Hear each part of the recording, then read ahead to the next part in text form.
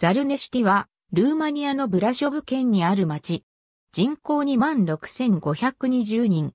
ドイツ5名モルケンドルフ、ハンガリー5名ゼルネシト。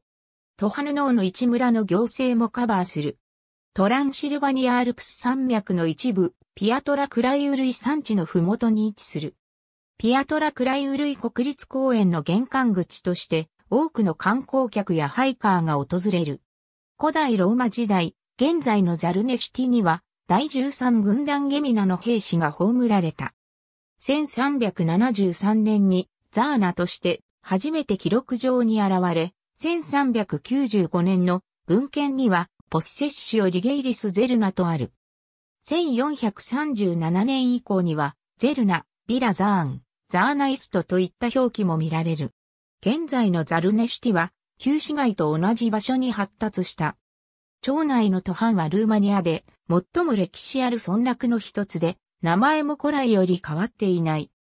1951年にザルネシティが調整施行されると、トハヌルベキはそれに編入された。1968年にはトハヌルノーのコミュニティがザルネシティの中心部に含まれた。その地形の多様性から住民は古来より農業で生計を立ててきた。産業化は1800年代に始まり、1852年に製紙工場が、1936年に交渉が建てられた。これらの計画で、ザルネシティは田園地帯から都市に変貌を遂げた。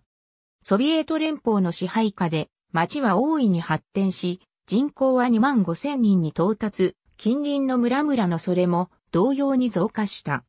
しかし1989年のルーマニア革命後に工場は閉鎖され民間に払い下げられた。